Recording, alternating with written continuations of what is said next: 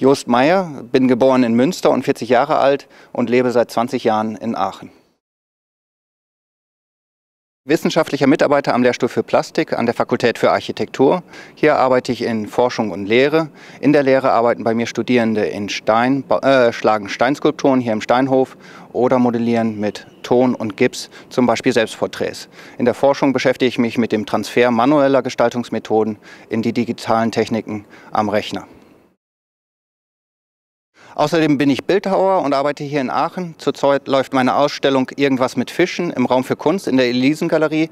Da sind zu sehen Hammerhaie, Rochen und Mondfische, die in diesem Raum zu schweben scheinen. Der ganze Raum wird dadurch zum Aquarium und man hat als Besucher die Möglichkeit dazwischen, sich treiben zu lassen und die Objekte sich anzusehen. Wenn ihr Lust habt, seid ihr herzlich eingeladen, da gucken zu kommen.